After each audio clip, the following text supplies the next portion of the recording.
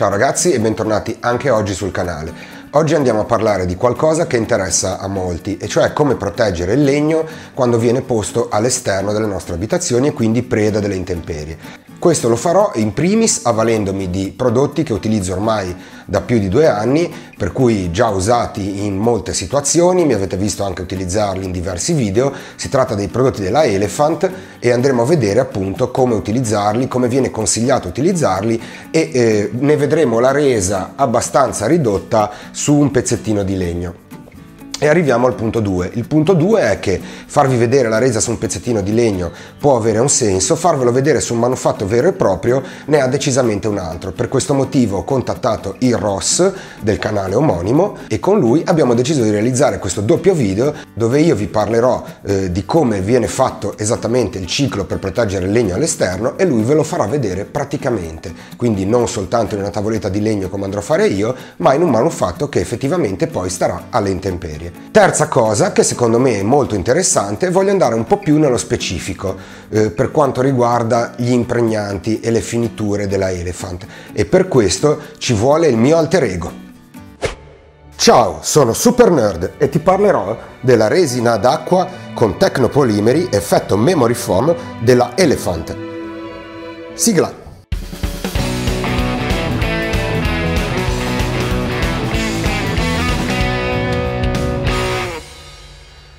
Bene, torniamo seri un attimo e parliamo dell'argomento di oggi, e cioè la protezione del legno, come vi dicevo, posto all'esterno.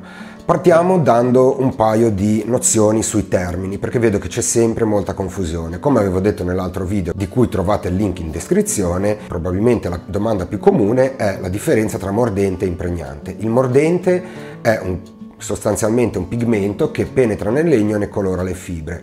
Stop L'impregnante penetra anche lui all'interno del legno ma lo protegge, quindi la differenza fra i due è basilare. Il mordente lo si colora unicamente, l'impregnante, oltre a volendo colorarlo, lo protegge anche. Seconda cosa importante da capire è da cosa andiamo a proteggere il nostro legno. Beh, la cosa più ovvia che salta in mente è che deve essere impermeabile, altrimenti l'acqua eh, farà durare ben poco il nostro manufatto. Seconda cosa sono ad esempio i raggi UV del sole, anche loro dannosissimi per i nostri manufatti posti all'esterno. In entrambi i casi eh, questi prodotti che vi farò vedere vi danno un'ottima protezione e eseguendo il ciclo come vi farò vedere io e poi il Ross nel suo video avrete un manufatto eh, quasi eterno. Bene, partiamo con il discorso sulla protezione dai raggi UV l'impregnante che andremo a vedere ha al suo interno appunto eh, degli elementi che ci proteggono da questo danno, come semplicemente fornendo uno scudo ai raggi che altrimenti andrebbero a rovinare le nostre fibre. L'altra cosa importante da sapere è che un legno eh, diciamo pigmentato ha sicuramente più resistenza ai raggi UV che non un legno naturale. Si può naturalmente lasciare al naturale utilizzando l'impregnante trasparente, ma io oggi andrò a utilizzare, almeno nella prima mano, un impregnante color noce scuro. I colori che solitamente si utilizzano per dare maggiore protezione ai raggi UV sono noce scuro, noce chiaro, venghè, ebano e diversi altri, ma diciamo che questi qua sono i principali. Se voi andrete a pigmentare il vostro manufatto con questo tipo di colori avrete una protezione ancora maggiore rispetto appunto ai raggi solari. Le altre protezioni che offre questo impregnante, ma che comunque vanno cercate negli impregnanti quando andremo ad utilizzarli, sono caratteristiche di antitarlo e antimuffa. Attenzione, entrambe le cose, se sono già presenti nel legno su cui andremo a lavorare, non vengono eliminate dall'impregnante. Semplicemente l'impregnante evita o meglio riduce il rischio che tarlo e muffa possano attaccare il nostro manufatto. Come ultima cosa, ma non per ordine di importanza, c'è appunto l'impermeabilità che dobbiamo dare al nostro manufatto. Questo io lo farò con una finitura cerata sempre della Elephant e eh, questa finitura in particolare non è effetto cera ma è veramente cerata, cioè c'è della cera all'interno del prodotto, per cui poi alla fine faremo anche lì un piccolissimo esperimento per farvi vedere che effettivamente il prodotto diventa praticamente impermeabile. In commercio esistono anche impregnanti eh, similcerati, per cui in teoria basterebbe dare anche solo quelli, tuttavia io preferisco dare i prodotti singolarmente perché con la poca esperienza che ho ho visto che la resa è migliore. Bene, prima di passare all'esempio pratico sulla tavoletta di legno, come vi dicevo, faccio un passo indietro e lascio la parola al mio esimio collega per farvi vedere questo piccolissimo esperimento con la resina che appunto si trova all'interno dei prodotti della Elephant. Molto bene giovane pubblico, quindi andremo a vedere adesso le proprietà intrinseche di questa resina d'acqua. Logicamente non è un prodotto che troverete in commercio, ma eh, viene disciolta all'interno di impregnanti e finiture della Elephant. Inizialmente vi ho parlato di effetto memory foam per quanto riguarda questa resina ad acqua. È un termine che ho utilizzato impropriamente soltanto per farvi capire il suo funzionamento intrinseco. In verità sarebbe più corretto usare il termine elasticità. Come sapete il legno non è statico ma nel tempo si muove. I legami che l'impregnante crea con le fibre potrebbero cristallizzarsi e rompersi creando un punto dove l'acqua e gli agenti atmosferici vari potrebbero attaccare il nostro manufatto. Grazie a questo prodotto non succede, perché deformandosi e seguendo i movimenti del legno non spezzerà appunto questi legami di qui sopra. Qualche giorno fa, come possiamo vedere dal filmato Prego fai partire, ho versato un po' di questo prodotto sopra una lastra di vetro. L'ho lasciato asciugare per circa due giorni e adesso andremo insieme a staccarlo per farvi vedere effettivamente qual è la caratteristica principale di questa resina. Come vedete la resina si è completamente asciugata, adesso grazie ad un cutter andremo a rimuoverla dal vetro e vi farò vedere con questo piccolo esperimento cosa intendevo per effetto memory.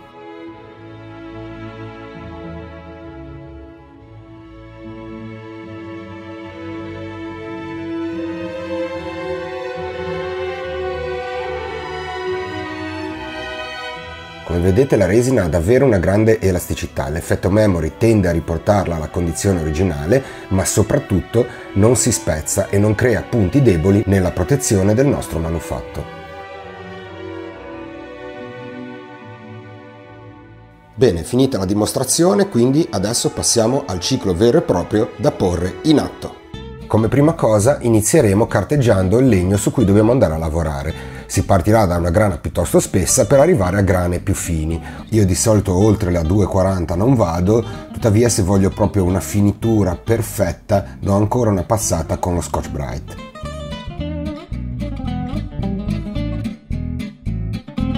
Visto che andremo ad usare prodotti all'acqua, utilizzeremo un pennello con setole sintetiche.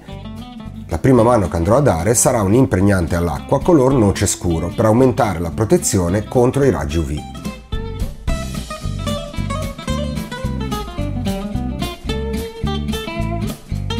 Ricordatevi sempre di mescolare bene il prodotto prima di stenderlo, dopodiché andiamo a darlo seguendo le venature del legno, questo per far sì che eventuali accumuli non creino degli inestetismi. Tuttavia, una volta dato, aspettando qualche minuto, si può passare un panno per togliere appunto questi eventuali accumuli che si possono formare.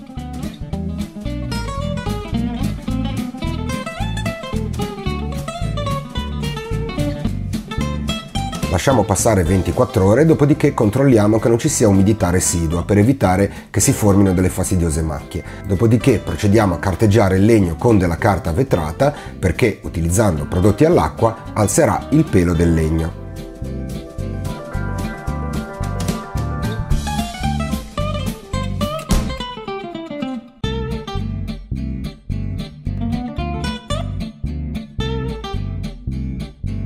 Questo punto darò una seconda e terza mano con un impregnante sempre all'acqua ma trasparente. Anche qui tra una mano e l'altra lasciar passare almeno 24 ore.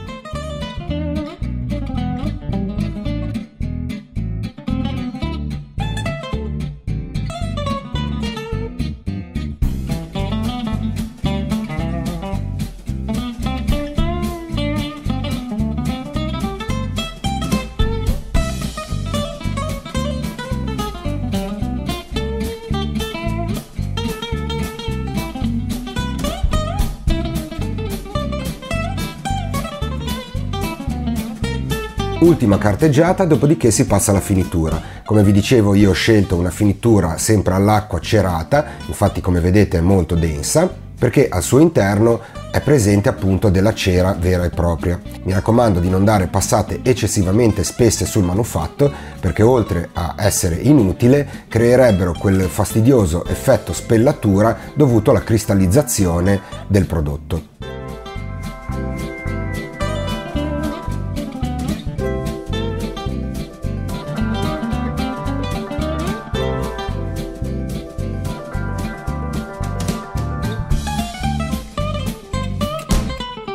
Passate 24 ore andiamo a testare la protezione all'acqua del nostro manufatto, ovviamente versandocene un po' sopra.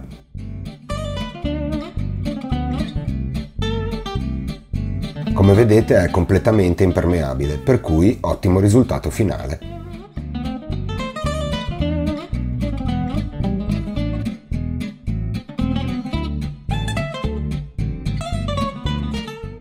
Bene, io credo di avervi detto quasi tutto. Il ciclo fatto in questo modo vi permetterà di avere un manufatto tranquillamente posizionabile all'esterno. C'è da dire che gli agenti atmosferici e tutto quello che può attaccare il nostro manufatto continueranno a tentare di rovinarlo e alla lunga ci riuscirebbero. Ci riuscirebbero se noi non interveniamo durante l'anno con dei piccoli lavori, chiamiamoli di eh, restauro o rinnovo, ancora meglio.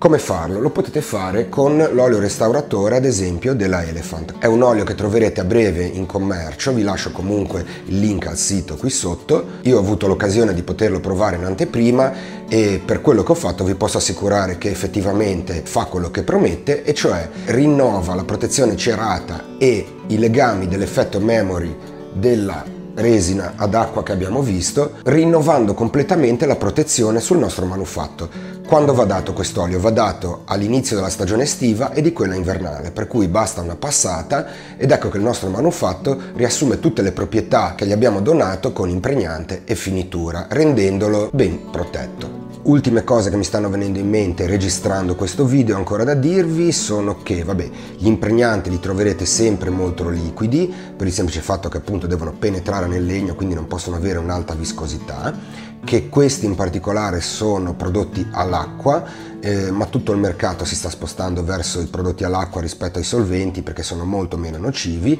tuttavia bisogna fare attenzione perché i prodotti all'acqua su determinati tipi di legno eh, fanno apparire quelle macchie fastidiose scure di tannino, ad esempio su iroco, castagno e rovere. Per cui con quei legni lì, a parte che in rete potete trovare diverse soluzioni naturali e non per evitare le macchie di tannino, però io per adesso l'unica soluzione eh, veramente valida che ho trovato in quei casi è utilizzare i prodotti a solvente. Bene ragazzi, io credo e spero di avervi detto tutto per quanto riguarda il ciclo che io utilizzo per i manufatti da porre all'esterno e sono molto contento della partnership con la Elephant, prima di tutto perché i prodotti mi soddisfano e in secondo luogo perché eh, c'è un buon rapporto con loro, è un'azienda italiana, si riescono tranquillamente a contattare e se volete farlo vi lascio tutti i link qui sotto così se avete qualche domanda potete andare a chiedere direttamente a loro.